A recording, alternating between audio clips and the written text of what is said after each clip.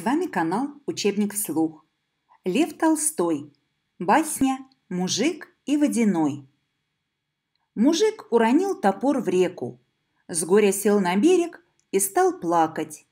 Водяной услыхал, пожалел мужика, вынес ему из реки золотой топор и говорит «Твой это топор?» Мужик говорит «Нет, не мой».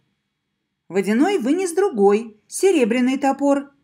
Мужик опять говорит не мой топор. Тогда Водяной вынес настоящий топор. Мужик говорит, вот это мой топор. Водяной подарил мужику все три топора за его правду. Дома мужик показал товарищам топоры и рассказал, что с ним было. Вот один мужик задумал тоже сделать. Пошел к реке, нарочно бросил свой топор в воду, сел на берег и заплакал. Водяной вынес золотой топор и спросил, «Твой это топор?» Мужик обрадовался и закричал, «Мой, мой!» Водяной не дал ему золотого топора и его собственного назад не отдал за его неправду.